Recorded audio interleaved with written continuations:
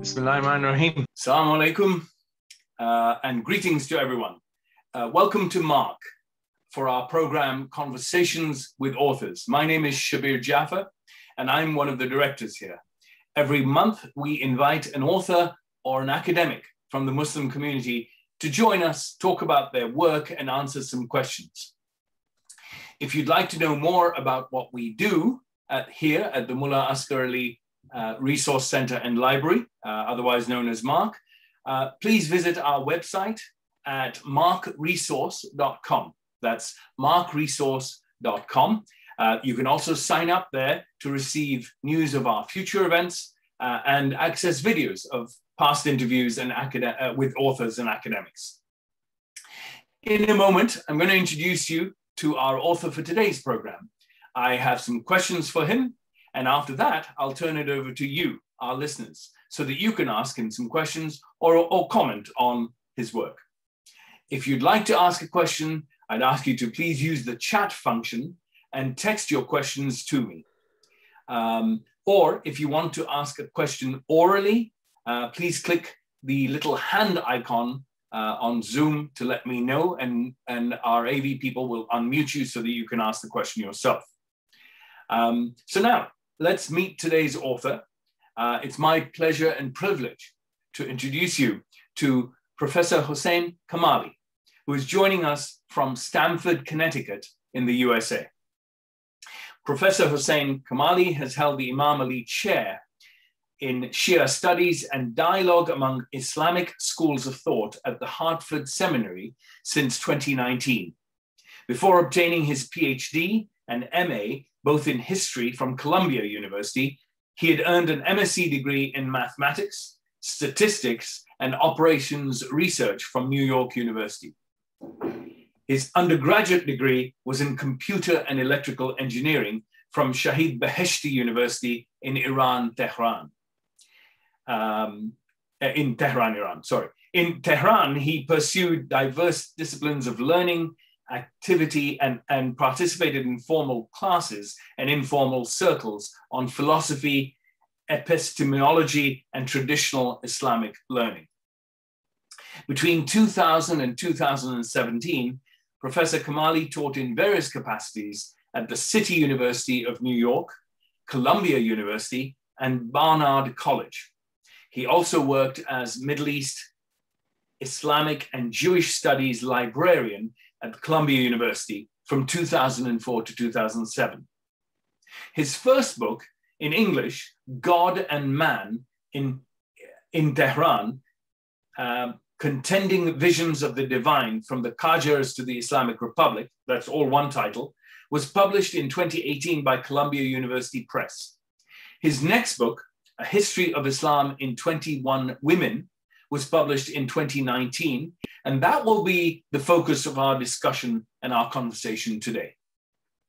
He's currently working on several projects, including a monograph entitled Giving Voice to Scripture, Tafsir in the Imami Shia Tradition. So let's begin with and bring our author in now. Professor Kamaly, Assalamu alaikum, and thanks for joining us today. Assalamu alaikum and greetings, uh, Shabir, to you and to each and every one of participants in this Zoom meeting. Uh, good afternoon. It's a beautiful day here in Stamford, and I hope it is so. Uh, it is also wherever you may be. And I welcome all our listeners to the program too. I look forward to hearing uh, your questions later, your comments. Um, so let's begin. Uh, I must say, Professor, uh, your book, Islam in, in 20, the, history of Islam in 21 women is one of the most readable enjoyable books or engaging books that I've, I've read in this series uh, that I've had of conversations with authors. I learned so much about the achievements of Muslim women um, over the last 1,000 years. It's a subject that has not really received the written uh, attention that it merits. Why do you think that is? That's a great starter question.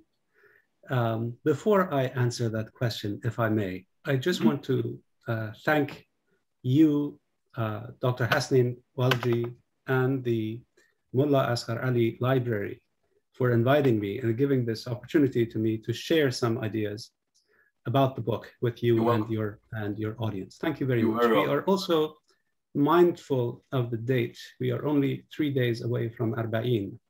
So we are also very mindful of that date. And um, uh, uh, we remember that somber day on our religious calendar. Um, thank you for the point that you made. And uh, the question about why aren't, why haven't Muslim women received enough attention in Muslim historiography and in, or in world historiography? Um, it has been the case with um, Western historians of Islam to sideline women. And we have come across some pretty mean and methodologically false claims made about Muslim women. Uh, and that is what we don't expect because women's studies has been a serious topic in uh, Western universities for a long time. And we would expect um, major scholars to, to think about restoring the voice of women in Islamic history. Now, there, there have been important attempts um, about the study of uh, women in various periods in Muslim history, but a thorough uh, rewriting of the history of Islam around the women has not been or hadn't been attempted. And I hope that my little book uh, may open the way, maybe the first, but not the last of many books that restore the presence of women in Islamic history. Um, yes, let, let us leave it at that if, if mm-hmm. this answers your important question. And there is a lot more to say that, uh, you know, about history that is usually his story, mm. the history of men, the history mm-hmm. of kings, the history of caliphs, the history of warriors, the history of men of learning. And then women are pushed to the sidelines as, at best, doing domestic work. Yes. As if domestic work doesn't count. Whereas even domestic work is the bedrock of, of economy, of human economy at any moment in history. Right. Right. So I tried to draw attention to that in this uh, rather simple and I hope accessible and informative um, monograph. Yeah. I am uh, I am tickled by the use of that pun, his story, uh, because it's so true uh, as you as you apply it in that context. Uh, but anyway, we now have a book to uh, uh, to appreciate, and I, as I said, I, have read the entire I've read the entire book and, and enjoyed it. From the start, you have um, the, the, the, beginning. You have a, a forward and, and then a, and then a beginning chapter devoted to, of course, the uh, Lady Khadija, um, the wife of the Prophet of Islam, peace be upon him. Um, and so we are, uh, we'll start with that, that chapter first. Um, in that chapter, you state uh, that it is important to highlight that the first ever person to receive the Holy Prophet's message was a woman. Um, is that because many scholars tell us that it was either uh, Ali ibn Abu Talib or Abu Bakr. Um, they were, or he, he was the first man to receive it, but not the first person to receive the message of Islam. Uh, what are your thoughts there? Um, well, the question of who was the first and what was the succession of people who accepted the Prophet's um, message is a big question in Islamic histor historiography it is of major importance. Who was yeah. the first and who were the earliest ones? Uh, there is this um, verse in the Quran in uh, Surah Al-Waqi'ah that refers to the first comers, the pioneers, as-sabiqun, as-sabiqun. And this, this concept of sabiqa, the precedence, became very significant in the early history of Islam to say, okay, who was the first? It certainly played a role in um, subsequent explanations of uh, succession to the prophet. Mm-hmm. But the sources are very clear that the first person to accept the prophet's message, message was uh, Lady Khadija. That is very clear. You find it in, in uh, Ibn Hisham's rendition and recension of Ibn Ishaq's biography, which is a very early biography. certainly not the first and not the only biography, but one of the earliest ones.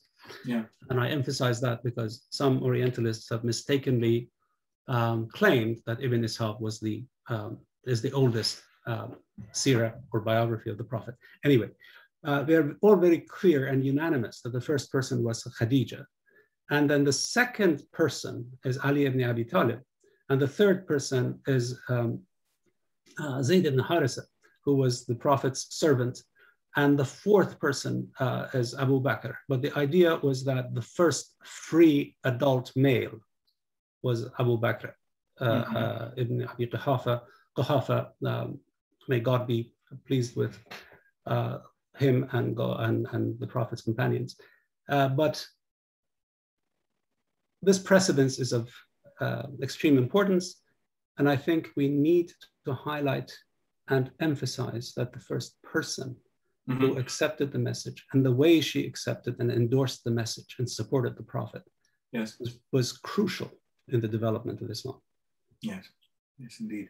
Um, staying with her chapter, um, you write that uh, Lady Khadija was Prophet Muhammad's shield and a force to be reckoned with in Makkah. Tell us more about that and why you think, as you wrote, that the course of Islam might have been different had she lived longer.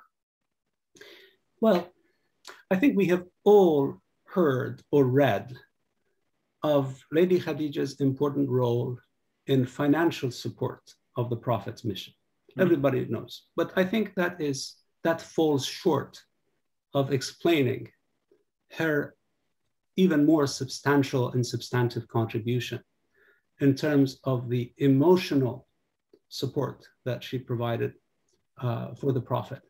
She was the rock of his life, I would say. So when he came back from that momentous experience in Mount Hira and went to his wife Khadija, his wise um, companion in life, mm-hmm. and said to her what had happened.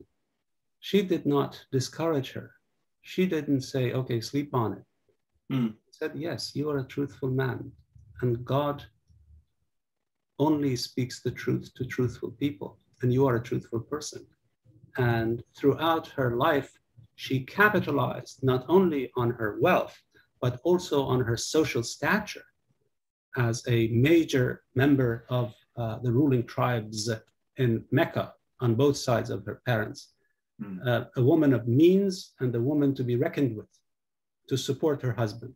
Right. And it was it is extremely important to note that when she passed away, uh, in the same year that the Prophet's other protector passed away, Abu Talib, uh, the Prophet mourned that year by calling it the year of grief, yes, the year of chagrin, right? Amul Huzn in yeah. the Prophet's history.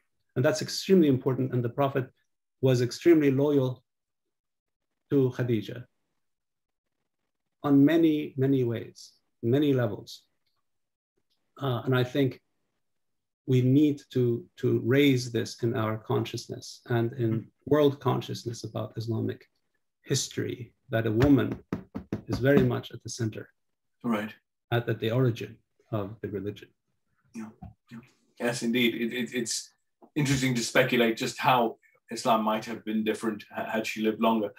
Um, anyway, um, moving on to chapter two, which is about, of course, uh, none other than the Lady of Light, Fatima Zahra, alayhi salam. Um, you wrote uh, of, I quote, the Prophet's preference that men should take should not take more than one wife. Um, this was during a time when polygamy was common, uh, was a common practice, uh, and the Prophet himself had multiple wives, many of them for the purpose of political alliances. Uh, why do you think it is that Imam Ali, salam, did not take another wife while he was married to Fatima salam? I think um, that is a very clear sign of respect for uh, Fatima Zahra, salamullah alayha. Mm. And at some point, some chroniclers tell us that he may have intimated um, the desire to bring another woman into the household. Yeah. and uh, Lady Fatima complained to her father, the Prophet, hmm and the Prophet convinced Imam Ali not to, hmm not to do that, and he respected that. And and I think as the Quran itself is very clear about polygamy, that says if you cannot be just, Mm. and you cannot be just, and you cannot be just, suffice with one. Right? So the emphasis is there. Yes. Again, in retelling this history, um, I am trying to not just report on what happened, but on what seems to have been the ethos. Yes. Right. Okay. Um, you go on to describe Fatima as a strong willed and Mhm. able bodied woman who bore five children and ran a busy household. Right. Um, in the book After the Prophet by Lesley Hazleton, an excellent book, um, Fatima is described as sickly and that she died young. Do you see a little bit of a contradiction here? Well, it is true that uh, Lady Fatima died young, um, depending on how we calculate um, her lifespan. Mm. She was she was very young, and she passed away uh, shortly after the pro- prophet's demise, Yes. uh, sometime between a few months, um, a few weeks, or a few a couple of months, a few months. However, the notion that has been um, hammered in some chronicles about Fatima being sickly, I think is historically weak and incorrect. Um, she bore um, four children. That is uh, a sign of bodily uh, strength Mm. and health, right? And she was hardworking. We have accounts of her working at the home, uh, the home that she built with her husband. But the idea that she was sick, sickly, is kind of a trope that is sometimes used by historians to um, overshadow the voice of women. Mhm. Oh, they are sick, they are weak. But no, she is a woman who stood up and spoke truth to power in her time Yes. and uh, demanded that her father's um, will be exercised. Right. So I'm trying also to challenge or to question Yes. this this expression um, or this reading of history that she was kind of um, sickly and weak. Okay. Okay. I, I'm going to refer now to chapter three, uh, which was about uh, Aisha bint Abu Bakr, peace be upon her. Um, you wrote that, I quote, when the Prophet took his last breath in her chamber in 632, Right. many accepted her testimony that the Prophet had wished her father to lead the community as his successor or Khalif. And, I quote again, that chroniclers all agree on the significance of Aisha's intervention on the matter of the Prophet's successor, and that the Mhm. impact of her intervention in the history of Islam remains uncontested. Now, that contrasts sharply, I'd say, with the Shia perspective. Uh, can you elaborate on that, please? It does contrast sharply with the Shia view, as you say, uh, and that contrast highlights the significant contribution or influence of um, Aisha bint Abi Bakr. Uh, may God be pleased with um, her, and um, in justifying the choice made at the Saqifa Mhm. In justifying that and making room for that. Now, this book is about the role played by women in Islamic history um, or the presence of women in Islamic history. Um, it doesn't mean it is not an endorsement of whatever may have happened Yes. right? But it is a it is a report in some cases, and in some cases, I also add, bring in my own voice to make a judgment. But this is clearly um, a matter of extreme importance. Yes. And the Prophet had also reportedly, as we understand, had said, go and ask for two thirds of your religion or half of your religion or a big part of your what your religion, what your conduct should be, go find out from Aisha. Aisha was a very powerful voice in, in Islamic history, Mm-hmm. right? Her contestation with some of the companions over issues related to women is very clearly noted. Her opposition to uh, the early Umayyad caliph is very clearly dominate, um, documented. And also, because of that, retrospectively, the voice of Aisha was kind of silenced in later historiography. So we know that many chains of transmission that went back to Aisha were re- replaced in some works Yes. by male reporters. That's another uh, scholar, scholarly achievement and a scholarly finding that we have in the 20th century, mostly. Yes. And thank you, by the way, for reminding all of us, our listeners and myself, of um, our conversation here as being based on academic freedom and academic debate, and and not necessarily um, trying to to to uh, show one side over the other. Sure, and that is sure. the true spirit of this conversation. So thank you. Thank you. Um, turning to the chapter on Rabia al Adawiyah, the celebrated female Sufi, uh, you state that her life and legend represent the evolution of an inward looking and spiritual articulation of Islam. Give us some context about that development, the, the development of that type of Islam. Um, Rabia al Adawiya's life um, evolved during the time that we know sometimes historians recall as the Abbasid Revolution. That is from around the uh, mid 8th century of the Common Era Yes. to the latter part of the 8th century. Um, some chroniclers have mistakenly put her um, in time of, in earlier times, uh, around 720s. That does not seem to be accurate. And there is an important book that was published also two years ago on Rabia and has a revision of that uh, mm, and the correction to that early historiography. So she lived during this time of turmoil Yeah. um, that we know as the Abbasid revolution, but it was not just the Abbasids or the Hashemids. There are many, many revolutionary um, developments occurring. And there was a lot of um, reaction against what had become, or what seemed to have become, of the true message of the prophet. Right. It had become about uh, kingship, power, exercising authority, confiscation of lands. And there is definitely an inward um, looking moment as exemplified by the early Sufis. Um, Notable among them is Rabia as a female voice. Yes. We know from uh, early sources, for example, from Kitab al Aghani, that in the second century of Islam, that is the eighth century, women used to preach at the mosque. And, and Rabia is one of them. Hmm. Actually, the person of Rabia is not one person, but many persons telescoped into one.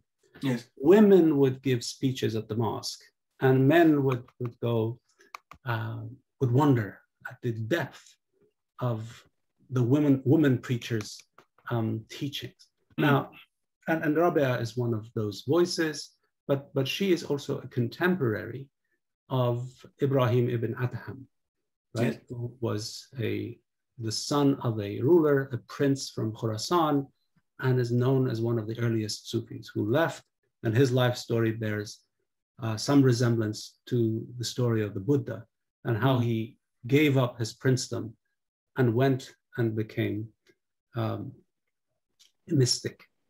Now, instead of focusing on his story, Yes. I have focused on Rabia's history as an Yeah. exemplary uh, early Sufi. Okay. Um, I, I'll want you to tackle one question here, with, which doesn't relate specifically to one of the women, but it's a general statement um, where you say, uh, in, in re- reference to the circulation of inauthentic hadith, Mhm. uh, local stories took on new lives, sometimes disguised as hadith. Mhm. Popular preachers attri- attributed the words to the Prophet mm-hmm. that he had not uttered. Mm-hmm. Um, so, very, very briefly, does this happen still today? And what has been, and to what degree has this had an effect on the Ummah? Uh, that's an important question. That's a deep, uh, delving question. Speaking falsely in the name of the Prophet is unfortunately um, still common. Yeah. Um, however, in a different context, um, especially going against what one might say was the prime ethos of the prophet. Yeah. Uh, so there is so much formalism these days. right. Okay, this is what he said and this is what he meant. However, in the 8th century, as of yet, the transmission of hadith was not uh, uh, canonized. Mm-hmm. Um, various voices were present, and it took at least another century, at least another century, maybe longer, for the methodology to, to congeal and to take shape of the assessment of hadith, what hadith could be true, could not be true. And there is a lot of um, uh, scholarly debate continuing to this day about the shaping of the hadith in right.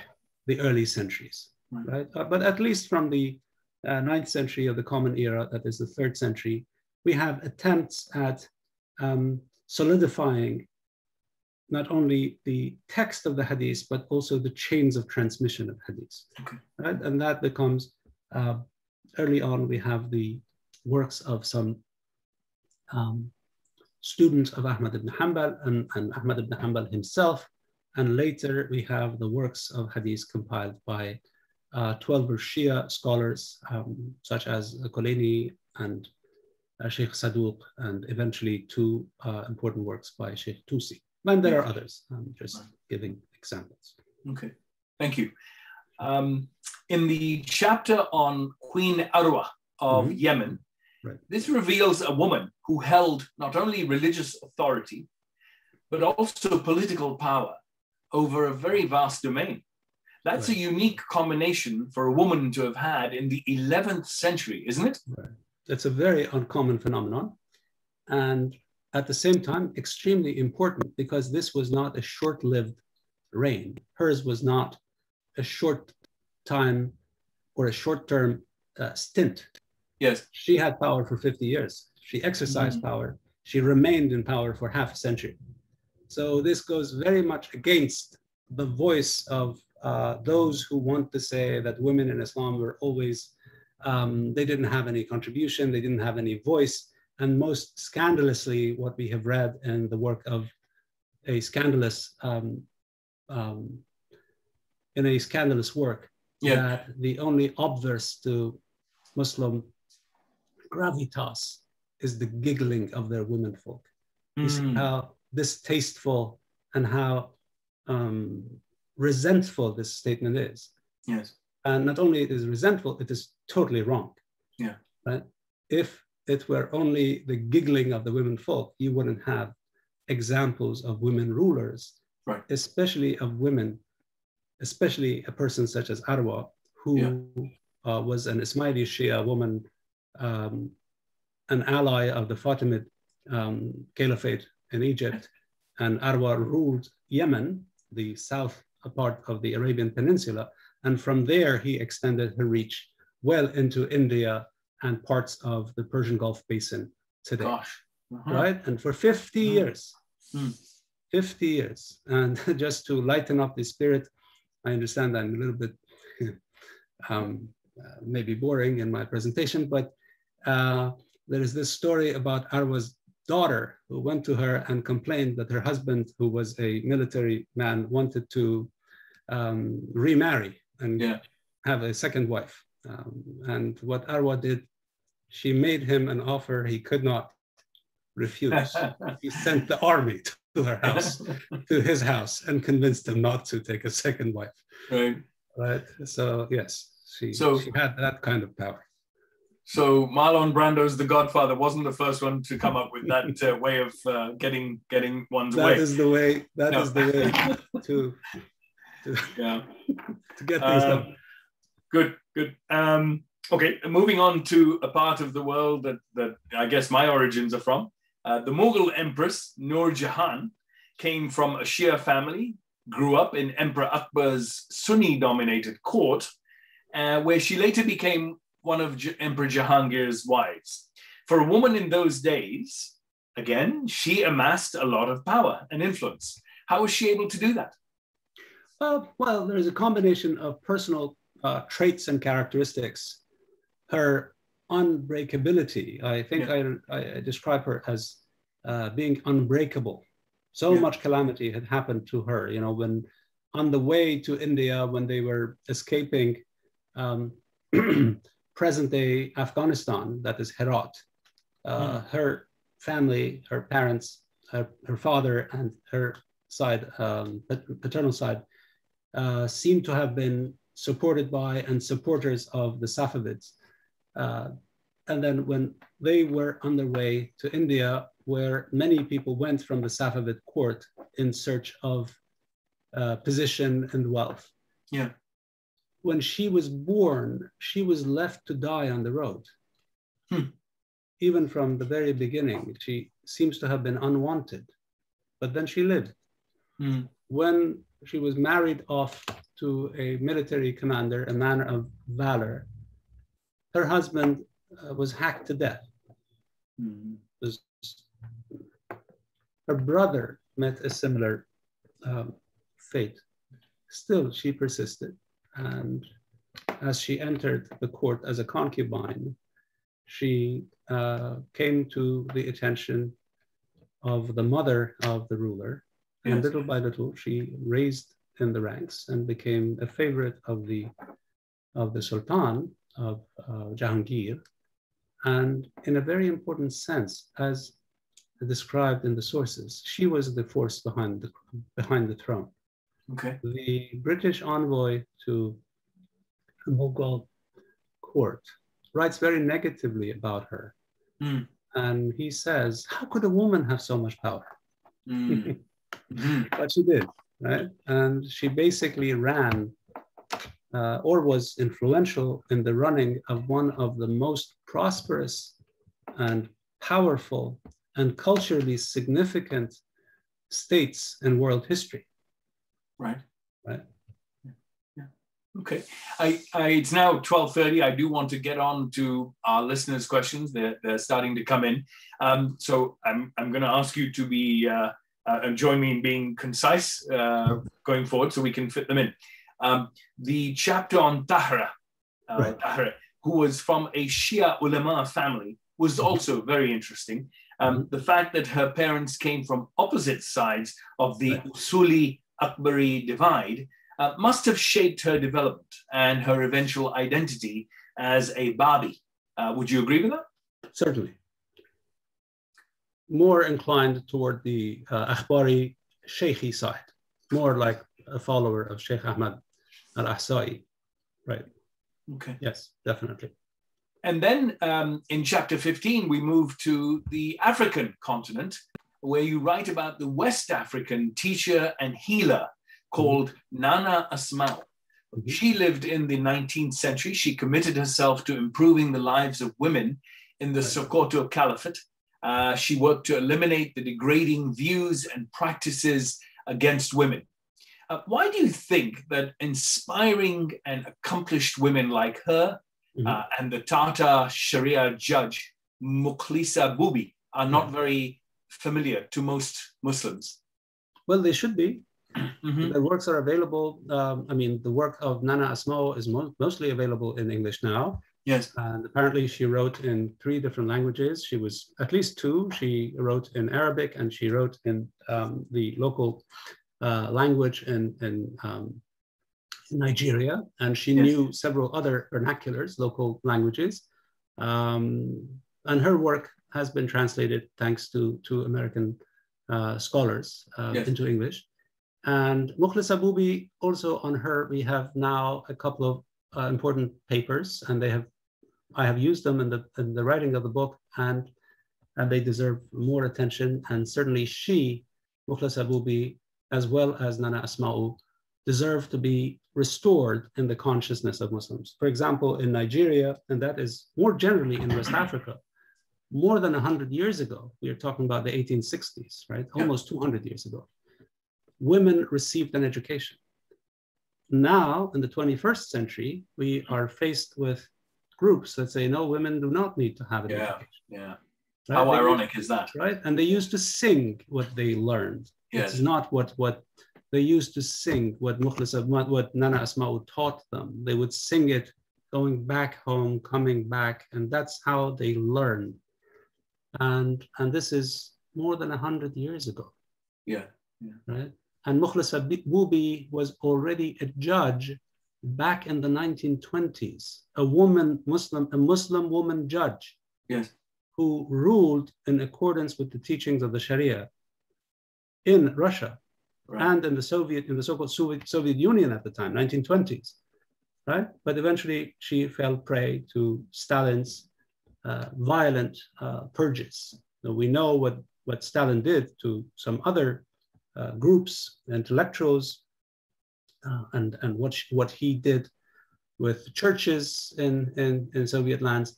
We hear less about what he did to Yeah. Muslims because partly his position changed and his position was um, um, in flux. Mm. However, uh, Mukhlisa Bubi is an example of those Muslims who were decimated in those purges Yes. right? And we have that. Her family suffered a lot, but very important. Uh, the notion of of uh, the understanding of Islam that developed in Tsarist Russia Yes. and then under communist rule is very relevant in our times as well. You, you wonder that there was any religion or faith left in Russia after Stalin finished Right. his work. But Well, anyway, we, we, But Stalin changed his position Yeah. later on, and he used um, he used in, in, during the Cold War.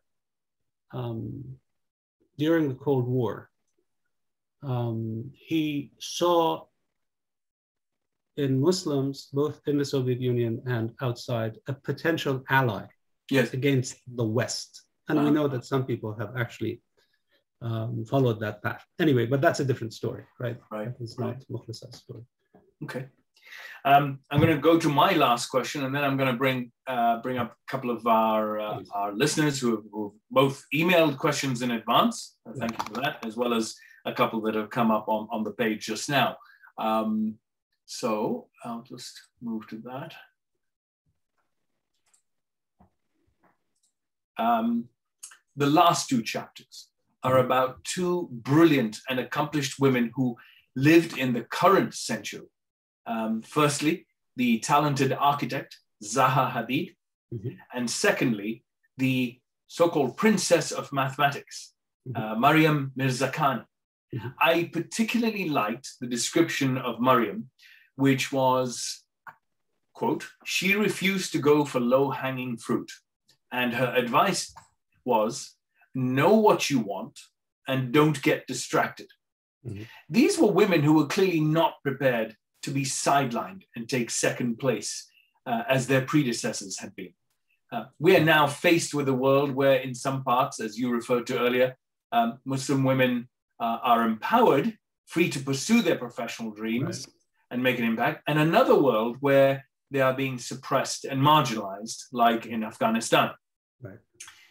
It's a real dichotomy. Would you agree? It's a sad dichotomy. And uh, to give a short answer uh, to an important question, the future of Islam, to a very large extent, depends on the future of Muslim women and the recognition of women in Islam in general by Muslims, men and women, about the role of women. Uh, in, in the book, I make a somewhat um, self obvious comment that women's history is human history Okay. it needs to be um, emphasized Right. that the future of this uh, cultural, religious uh, phenomenon Yes. depends on the way the voice of women is restored, the way women are empowered. Yes. And this empowerment does not mean uh, or is not restricted to allowing women to, to um, to be rebellious or to be naughty. This is not what this book is about. And there is a theoretical framework for it that I have explained it at the end of the book. Yeah. And that whole view of rescuing Muslim women is wrong-headed. Right? It's not about rescuing. It is empowerment is important, and more than anything, this has to come from within the Muslim community worldwide. Yes, indeed it does. Well spoken. Um, Professor, I'm going to move now to our listeners' questions. Thank you. Um, these were emailed to me a couple of days ago from Kurban Manji. Uh, the first one is uh, why 21 women? Anything particular about the 21? He's referring to the, the 21 chapters in your book, each devoted to a, a, a single woman. Um, and if you like, I can combine the question with the second one, which is relevant, is these 21 women were not the only high achieving Muslim women in history. What was your criteria for picking on these particular women? So the first question is why 21? Anything special? And then Thank what you was for it the about question. these 21 that, that, that made you pick them? Thank you for the question. The number 21 refers to the 21st century Ah. and to the publisher's series. Um, the publisher had already published a book called A History of Britain in 21 Women, Mhm. and then A History of the World in 21 Women. And when I was visiting London um, before the publication of this book, before writing this book, um, I was visiting my uh, the publisher and having a very good conversation about uh, women in history. Um, very learned couple who run the uh, public uh, publishing house, Oneworld Publications in England, Yes. Uh, at Oxford in London. And then the publisher asked me if I knew anyone um, in the US who would be interested in writing a history of the United States in 21 women. And I, th- I said, yes, I can, I can refer you to a few scholars in the field who are well known and who write um, clearly and without jargon, but at the same time uh, in an informed manner. And Right. then I raised another question and I said, and I asked whether he and she, my publisher friends, would be interested in publishing a book on the history of Islam in 21 women. Mm. And now Islam is not a geographic category, unlike uh, you know Britain or the United States. USA, right? Yeah. Right. And he immediately, uh, the uh, person who's in charge of nonfiction uh, publications for Oneworld Publishers, said Yeah. yes, and immediately sent me kindly sent me a contract Mhm. uh, to write a book about uh, a history of Islam and 21 women. Now, making the choice was difficult. Um, I want to say, while I appreciate the question very much and similar questions, this is not about famous women or high achieving women or good women. You know, this is Hmm. not about that. It's not Yeah. my judge. It's not my place to judge or uh, pious woman. Uh, That's not my Yes. position to, to, you know, to commit myself to. Yeah. I imagined Islamic history, and this is a topic that I teach, right? Yes. I teach regularly. Um, the rise of Islam, the caliphate, the successions, the revolutions, Yes. um, the consolidation, and then the Mongols come, and then uh, or the early modern period, and then the modern period. So very common. I know the periodization very well. Yes. And I thought, let me take this periodization, work with that periodization. And instead of writing about kings and caliphs and the ulama and the Sufis in general, Hmm. let me let me retell this story around some women, hmm around 21 women. Now the publisher tells me 21, and I'm Yeah. confined by that number. I'm limited by that number. Yes. And I tell the story around 21 women. Now, if I had a choice, I would include more than 21 women, and it would be a richer story. Right. However, as I'm trying to, to say very honestly and sincerely and earnestly, this let it be the first book Mm. that restores the voice of women in Islam, not the last one. Yeah. Let there be many other books about other women, other stories, other narratives Yeah. in, in, in the formation of the history of Islam. Now, I have one woman from, um, as you said, I have to keep it concise, but I have one woman who was taken, who was captured near the borders of China Mhm. and died in Kerman in Iran. Mm. And she too was influential in politics for a few decades, several decades. Yeah. She worked with the Mongols against some other Mongols, and there is still a, a school in her name in the city of Kerman in Iran. Now, the status of Muslims in China is of extreme relevance in our time. Mm. I recently read a book called Made in China. I recommend that. Mhm. We are not hearing the voice of Muslims in China, men and women, right? Yes. Yes, right. So let us. Uh, so the answer I gave to 21, and certainly there are many other women, noteworthy women, of course. If I had, it, if I could, and I was limited by the sources here, I would very much weave in into this book, into this narrative, the lives of ordinary women. Yes. If I had information about a um, a washerwoman, Mm. I would have included it.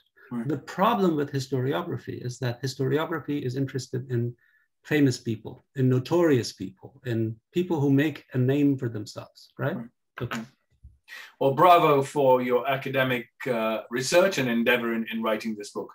Thank you. Um, Okay, um, just moving on with Kurban's questions. Um, Sunni Shia conflict has marred many eras in Islamic history, and some highly influential women were partisans. How did you deal with that, where one party uh, may consider a woman, a particular woman, a heroine, while the opposite party consider her a villain? Right. This is very difficult to um, to to address if one is trying to write from one's um, let's say um, political position or sectarian position or ideological position Yes. but we do as historians we are trained to tell other people's stories Right. and not to be judgmental about, oh, this is a heretic. This is not a good woman. Uh, Uh, this is not a good person. Why do you write about people who are not good? But good and bad Yes. are not uh, judgments in this book. right. As you see, there is no trace of such, such commentary in this book. Right? I try to report while staying distant. Yeah. For example, in the mother of the uh, Ottoman king, I talk about her. I talk about her playfulness, her um, correspondence with, with Queen Elizabeth of England. She's Yes. very important. She likes to take rides in the chariot that and that, that Queen Yes. Elizabeth has sent her. But at the same time, I remind the reader that she killed one of her grandchildren. Mm. Mm. She had her killed, not to be uh, an impediment Yes. in the path of future successions. Right. Right? So this is not a book. This is not a celebration of achievement. right? Mm. Mhm. Because in our time, we are faced with this kind of celebrity, the cult of celebrities, the greatest, the best. yes. So this is not about that. Even though I have included women who have been of consequence in this history. Yeah. But it's not my job to take position and say who is a real Muslim, who was not a real Muslim. That's not my job. Yeah, yeah. The the next question was something I was tempted to ask you, but I figured that somebody in our in our listener group in our subscriber group would would inevitably ask you this. Right. So I'm gonna again attributed to uh, uh, the person who sent it.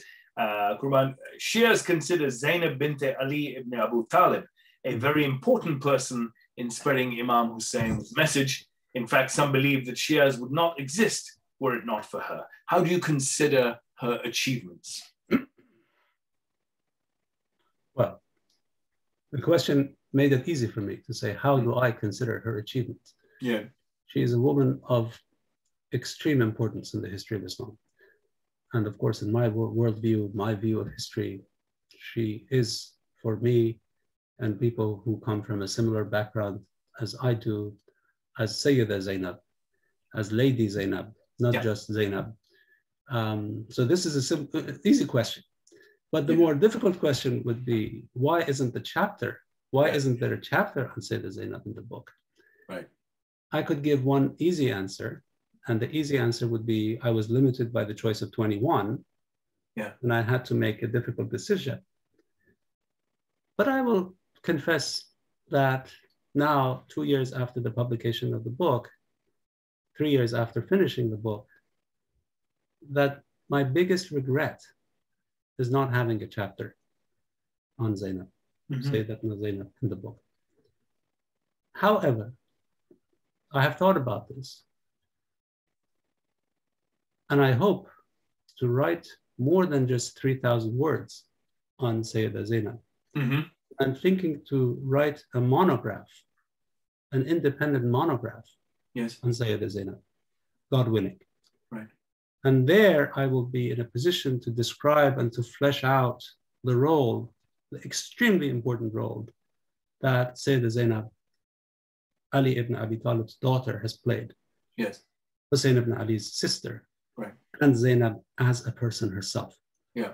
Yeah. has played in the history of Islam and what has been done to her Yes. by voices, by powers that have tried to, sup- to suppress her word. So I let me share this news that I look forward to writing a, an independent monograph on her, maybe a short monograph. We look forward to reading it. Thank you. Okay. Maybe you will invite me and then we'll talk about it in more. in detail. Inshallah, inshallah. Why not? Um, uh, last one from Kurban, then there's some from on the chat. Another question that popped up is uh, about your book, Tafsir in, in Shia Islam, the one I refer to in your bio. Um, can you tell us more about your forthcoming book? How does tafsir differ between the two main schools of madhab? What are the main ayats under contention? Um, it would be wonderful if you can give us a- a brief preview of this book. Right. Again, I have to say this that for the time being, I am not working on that project. Okay. I'm working on other projects. However, it is a shame that we still don't have an independent monograph in English that talks about the uh, more than thousand year old legacy of specific tafsir writing in the Shia tradition. Mhm. And I'm not saying 1400, I'm saying 1000 just to avoid controversy. Uh, one book has published, has been published, has appeared by Brill about 20 years ago. Yes. It's about early Shia tafsir. And the problem with those early, uh, with focusing on that early part is emphasizing the difference between the Shia and the non-Shia, and specifically by pointing out um, by insisting that there was something um, in the Shia tradition that rejected the text of the Quran. Right. This is a very flawed and inaccurate position to take. Mm. I'm trying to use my words, to, to use my words carefully. For the most part, the Shia tafsir tradition, that is especially after the occultation, after the fourth century of the Common Era, as exemplified in the canonical, in the pioneering work, uh, Kitab al-Tibyan by uh, Sheikh Tusi, uh, who, that was completed in the 11th century, early 11th century, mid 11th century. Um, and then we have had several others. Shia tafsir is an integral part of tafsir in the Islamic tradition. Um, we cannot understand tafsir in the Islamic tradition without taking account, taking account of the most scholarly work on tafsir in the 20th century, which is Tafsir al-Mizan by the late Allama Tabatabai. Mhm. And this is not a sectarian tafsir. This No. is a major accomplishment in Islamic uh, scholarship. Yes. So on my view was to, to give a more integrative view. And I still want to do that. Yes. And in whatever I do, I try to be, um, to present things from, from an integrative point of view and not a sectarian point of view. This is one reason uh, I use to justify the choices uh, made in this book, right? Right. Right. Choice of 21. This All right. answered got a little bit long. I apologize, but I Nope. see that we have questions in, in chat as well. Yes, yes. So I'm going to move to those now. Um, the first question that came through is probably more appropriate for the very end because it asks about your overall approach or purpose in writing. Um, so I'm going to work on the specific uh, ones and then get to that one. Um, Sure. Could Professor Kamaly talk current project, uh, giving voice to scripture? Well, we've already done that. Um, then the next one is women have been brainwashed. This is from uh, an unknown, uh, whether Mhm. there's no name attached, it's his iPad or her iPad. Women have been brainwashed that even their voice should not be heard. Um, so in Toronto, we have programs where we are told strictly for women. How can that ideology be changed? And is it haram for a woman to recite Quran or a poem or a marsia where there is a male audience? Um, your call if you want to take that that question. I know it's not necessarily your area of uh, expertise, but I'll, I'll let you go at it if you'd like to. I will try, but I'll try to be circumspect as well. Hmm. Um, when I teach, you know, I'm a teacher. I go to class and I teach. And one of the courses that I teach is contemporary Islamic ethics. What I make clear to the students in the class is that the emphasis in this class is on contemporary and ethics. Um, so I tell them, I tell my students that this is not a book only about 10th century, 11th century, 13th century books on ethics. It's about contemporary ethics. So we need Yes. to talk about medical ethics. We need to talk about environmental ethics. Yes. We need to talk about human rights. We need uh, similar questions. Right. And that this is a class on ethics and it's not on Islamic law. It's Yes. not on the Sharia. I tell them. And the reason I emphasize that, and I'm very explicit about that, is that they are not prepared. Hmm. They are not trained to take a class in Islamic law. Islamic law is a serious field of research, Yeah. of scholarship. So people who have no training in that shouldn't talk about it, just as they are not uh, judicial uh, procedure in, let's say, in Canada or in U.S. Uh, Yeah. courts or in British courts. Anywhere, it's a, it's a it's an expertise, right? It's a it's a kind of expertise. People who don't have it are not in a position to discuss it. Yeah. And certainly, my students so far uh, in the institutions where I've taught are not experts in that field. Right. I am not going to comment on the legal position on Hmm. the voice of women. Right. But from an ethical perspective, I would say it is unethical to silence women. Hmm. It is unethical, uh, and unethical and legal are different categories. They sometimes converge, sometimes don't. Mhm. And and about the second question, whether it is haram or not, again, I will not judge on the haram, and because that I leave it for other people who feel Yes. uh, compelled to talk about those things. However, I will tell you that the daughter of Imam Hussein, right? Mhm. Sakina bint Hussein, or Sakina bint Hussein, and we have her name in the sources. She had a very difficult life in Medina, right? They put a lot of pressure on her. They, I mean, the rulers. Um, however, she would invite poets of the time, some of Yes. whom did not have a good reputation socially, to come and to recite poetry. And she told them, she instructed them to recite a verse that she had composed about her father, Hmm. about her protectors. And I remember that every time it's, uh, of course, um, so she instructed the singers of the time to sing the verse that she had composed. Uh, the voice of women in Islamic history has not been as irrelevant as two groups of people mainly have tried to make it.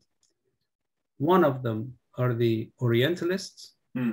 I told you the Orientalists tell us that all the women contributed was giggling, which is false, which is misogynistic, which is it borders on the racist. It's definitely and, and insulting. And, and insulting. Definitely yeah. misogynistic.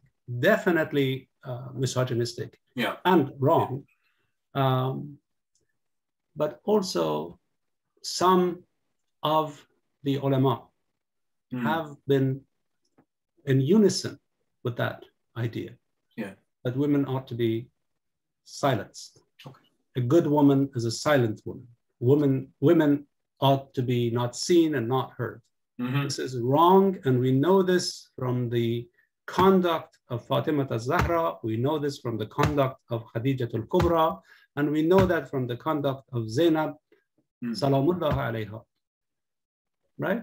Yes. And this, if at least in the Shia tradition, there is no justification for, okay. For the silencing of women right? Again, I'm not talking about legal. This discussion is so interesting that with your indulgence, I'll continue until, until 10 past, which is when we have uh, the Zohar Namaz time. So yes. moving on. Um, uh, this is a comment only from Sister Sabika Shaban, one of our regular listeners. Dr. Muhammad Akram Nadwi's Al Muhaddithat mm-hmm. the women scholars in Islam, required 40 volumes to comprehensively capture women's history in this very specific segment of Islamic scholarship. Your undertaking was in many ways more difficult, incredibly more difficult, because of the 21 people limitation. Um, so that's a comment. Um, brief, brief response from you, please.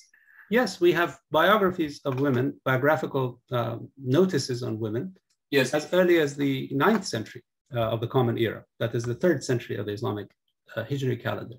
Yeah. Um, but again, writing about names and giving lists of names and the hadiths that they have transmitted yes. is one thing. And then talking about the social significance of the role of, let's say, one hadith transmitter right. is quite another. Okay. I have included Fatima of Neshabur here uh, from the from yes. the 11th century, right? From yes, you did. Yeah. Mm-hmm. Right, and she's important because 40 later hadith transmitters refer to her as their hadith authority. Right. Most of them are her own descendants, right? So they could sit at her feet and listen yeah. to her, and then, but they became very important people in hadith mm. transmission. Mm-hmm until very recently, very recently, Muslim societies had women who would come and recite hadith in their gatherings. Right. Right. But those people have become, have been, for the most part, dismissed. They are not learned. They are not, um, which may be the case. They may not have been learned, but they were part of this social history. Mm-hmm. And social history does not record only the ones who are correct or high achieving or important. Yes. That's not that's something else, right? Social history has to take into account of voices that have been um, disregarded. Yes. Yes. Well, you know, to that last point, um, the next question uh, provides, uh, it's an interesting segue to the next question, which reads, and it's from Fatima. Thank you, Sister Fatima. How is knowing about the significant contributions of these women relevant to modern Muslim women's lives, given that Muslim women grapple with patriarchy on a daily basis? That's a great question. Now, if we uh, face patriarchy today, imagine what women faced uh, 500 years ago, mm. 600 years ago. Just take the story of Pari Khanum, the Safavid princess yeah. who was killed by her own brother, who was murdered by her own brother. Uh, that's patriarchy. They fought it. They made, they laid the, their imprint on this history.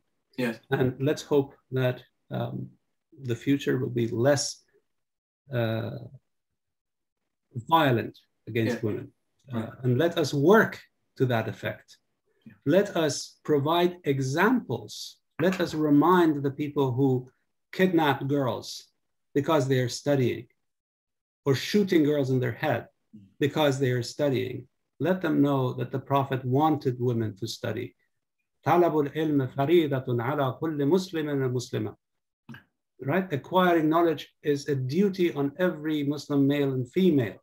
Yeah. This is hadith, if you accept it. If you don't, the practice of Nana Asma'u in Western Africa during the 1850s is an example of how women's learning mattered. The mm. example of Tahere as a learned woman of her time, yeah, who, who was killed. Uh, I didn't include many other women who were killed because they yeah. were. But, my a friend of mine said, "Well, why are you? Well, don't include more women who were killed." I said, "Okay." Then okay. I included Taha, uh, Zaha Hadid and, and Mariam Mirzakhani right. as people who who attained the highest position in their professions. Yes. Right? Isn't that an inspiration? Now we have a Mariam Mirzakhani fellowship. We have a Mariam Mirzakhani mathematics day. She is the only woman to have won the uh, Fields Medal, the prestigious yes. Fields Medal in, in the uh, history of that recognition of mathematical right. excellence. Right. right. That should be inspiring. That should be inspiring to all of us, men and women. Right. That within one generation, a woman who lived only 40 years, yeah, only 40 years, right. Um, uh, excelled but, in her field in the degree that she did, to the degree that she did. Yeah. Yes. Okay, last few minutes, um, very quickly. Uh, in, in, in these 21 women, whose story surprised you the most and whose story was the most difficult to capture? The most difficult story to capture with the story was the story of the daughter of the prophet. That mm. was very difficult for me to, yeah. Uh, to write. And I know that I haven't done it justice, and that is a big um, let me leave it at that.